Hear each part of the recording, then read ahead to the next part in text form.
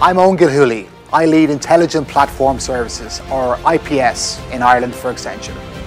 This is a series that explores the transformational potential for businesses using strategic platforms across their organisation. I'm delighted to be joined today by our partner, SAP.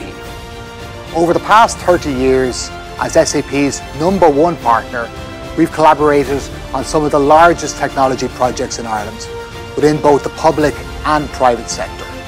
You're all very welcome. Thanks for joining us today.